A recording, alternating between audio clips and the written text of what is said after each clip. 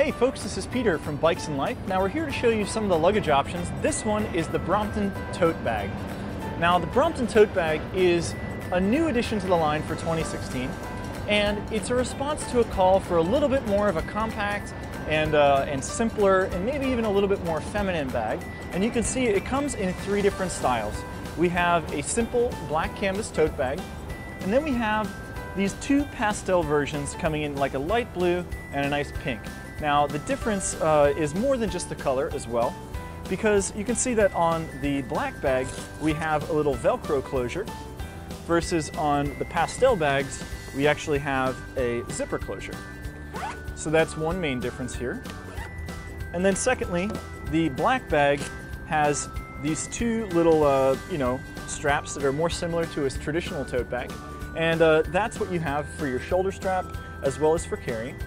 Whereas on the, the uh, pastel bags, you have two leather hand carry straps as well as a separate kind of webbing strap for your shoulder.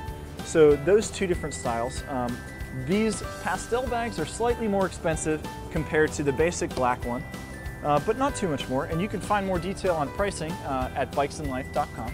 Aside from those two differences, the rest of the three styles are all the same.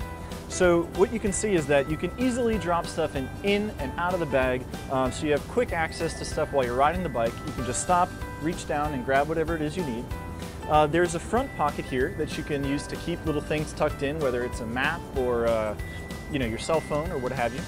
And then on the inside, you do have a zipper pocket for some more kind of valuable items that you want to keep, make sure that they're secure.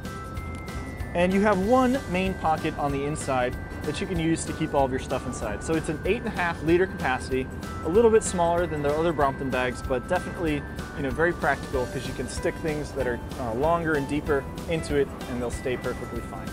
So with an open bag like this, you're probably wondering what happens if it rains. Um, well, Brompton has designed their own little rain cover for this bag and it slips right over the top like a shower cap. So you just want to expand the cover and uh, kind of carefully slip it down here.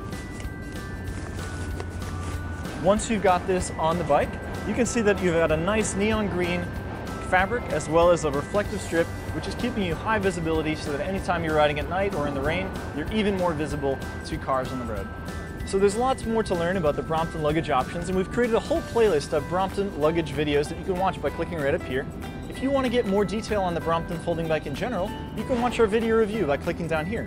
And of course, I hope you'll join our community and subscribe by clicking here to get automatic updates each and every time we upload a new video.